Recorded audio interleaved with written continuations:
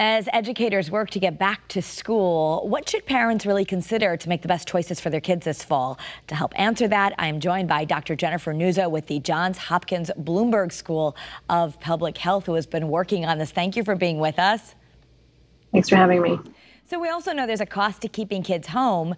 What do you think is needed to open schools responsibly? Well, it'll be easiest to open schools if we have low levels of disease in the surrounding community. So, if there's time between now and when school starts, it is really, I think, in the community's best interest to try to figure out how to do that.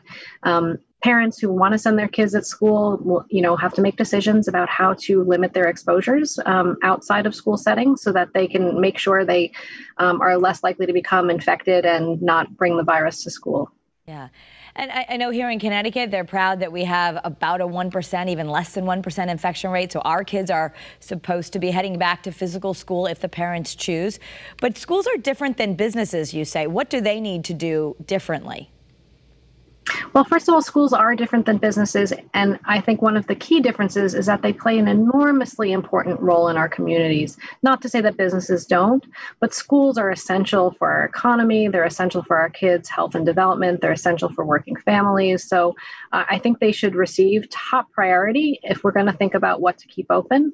And if um, there are, uh, you know, businesses in the community that we think are um, going to contribute to transmission, then I think we should prioritize um, schools over that.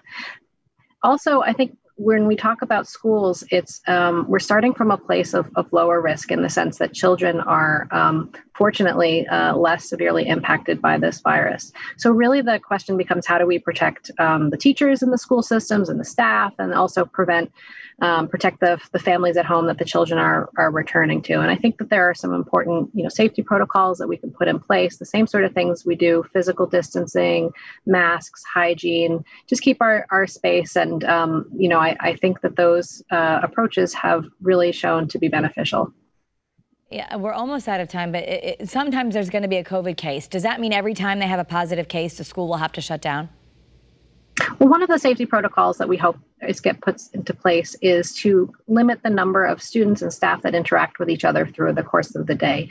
That will hopefully limit the possibility of becoming infected, but also if there's a case, it will limit the number of people who have been exposed. So hopefully um, that we may have to only, you know, close the classroom as opposed to close the whole school. Okay. Schools may close for a little bit just to figure it all out, but it doesn't mean that we necessarily have to close the whole school for a long time. Good to know.